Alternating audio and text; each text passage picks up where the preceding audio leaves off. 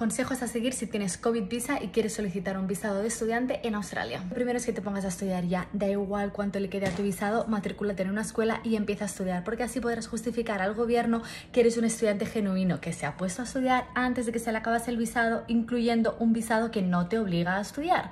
Dos, escoge una escuela que sea de nivel 1. Las escuelas tienen diferentes niveles, pero si te matriculas en una escuela de nivel 3 o nivel 2, probablemente será más difícil que te acepten el visado de estudiante. 3. Es recomendable que presentes solvencia económica si la tienes, siempre, en todos los casos. 4. Paga el curso por completo o la mayor parte del curso al inicio. 5. Estudia algo que esté relacionado con tus estudios anteriores o con tu perfil académico y profesional.